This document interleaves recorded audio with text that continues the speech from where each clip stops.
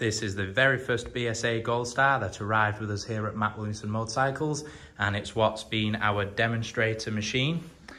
It's now going up for sale as we make way for our next demonstrator bike arriving. It's got just under 500 miles on the clock, so really low miles.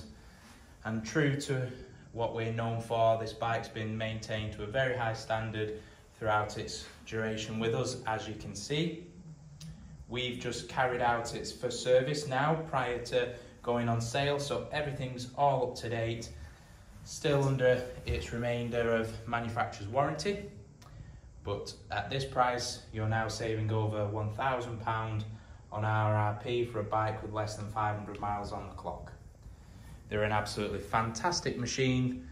We've sold a good number of them since they came out earlier in the year. Full of character, Obviously this bike is completely original. You get the USB and USC port, the wonderful clocks, and as you can see they're just 474 miles on the clock. And as mentioned, it's in really good order. I'm known for the standards that I maintain my motorcycles at and this is no exception.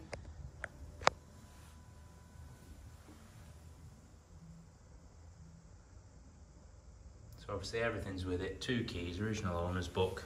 Like I say, it's just been serviced now, just had its first service.